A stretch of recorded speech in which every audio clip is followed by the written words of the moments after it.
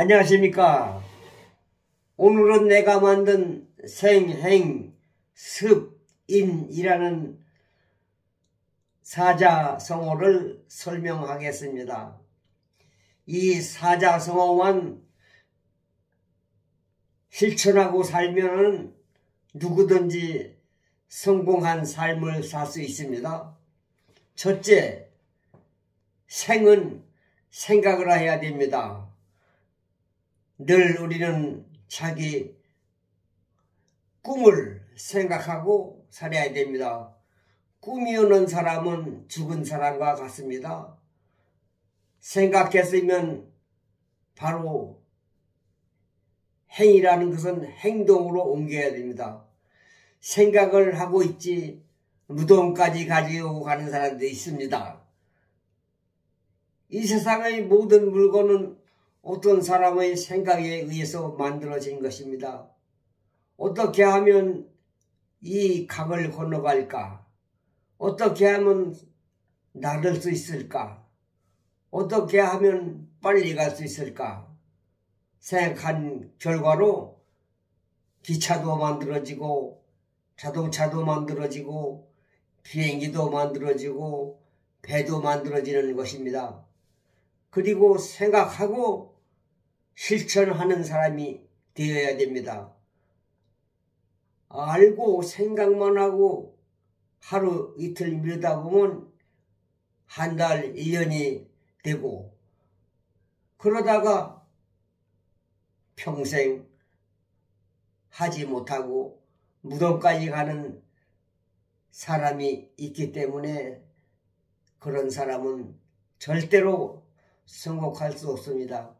생각했으면 바로 실천하는 삶, 실천하고 살아야 된다. 실행에 옮겨야 된다는 이야기입니다.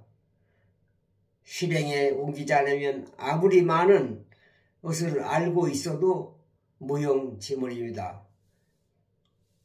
그렇게 살면 습관화가 되어 무의식 중에도 그 일을 하게 되는 것입니다. 그러므로 습관화되면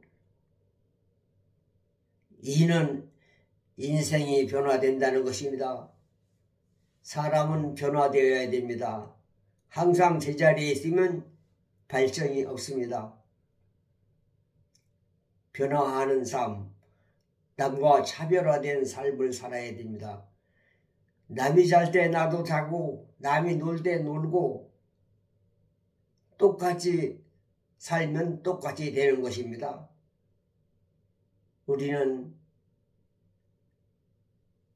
잘 사는 사람이 있으면 욕하지 말고 어떻게 해서 그 사람은 잘 사나 그 사람을 모방하는 것 결국은 컨닝하는 겁니다.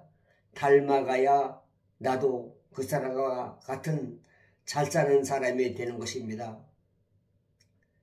세상에 공짜는 없습니다. 성실하게 살아야 됩니다. 정직하게 살아야 됩니다. 해로운 생각조차 하지 말고 살아야 됩니다.